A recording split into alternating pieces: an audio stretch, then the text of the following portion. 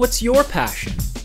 Whether you're interested in the artistic side of life, or maybe helping people, or developing technology for the future, Durham College's Fall Open House on Saturday, November 13th.